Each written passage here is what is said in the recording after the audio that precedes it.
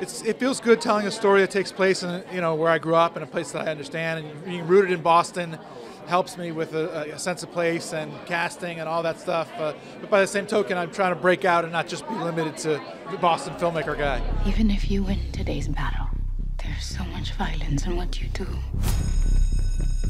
Look out, look out, look out, look out!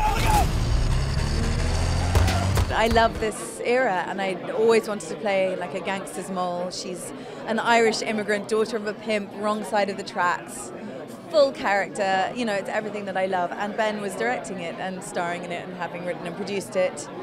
He's obviously an incredibly accomplished filmmaker, a studio I love. It was all, and on every level, it was like a dream thing.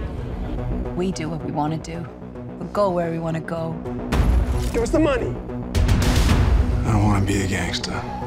I probably learned to do more takes than normal from working with David. He definitely has, you know, that influence on me because he just does so many takes that it just seems normal to do like 40 or 50 or something like that. But uh, I try not to be quite as abusive as David is with my actors who are working with me. He can get away with it. He's a fancier director. What a year for Affleck. I talked to Casey uh, earlier and told him for this year he was my favorite Affleck, and he said, You haven't met my mom. See, he's the funniest Affleck. That's what I have to say. What inspiration did your mom give you guys that you guys have? Our mom is fabulous. She she raised us more or less on her own from a from a young age, and she's a she's just an extraordinary woman who sacrificed a lot. She's a public school teacher, and uh, she's a terrific lady. And at least one of her kids turned out all right.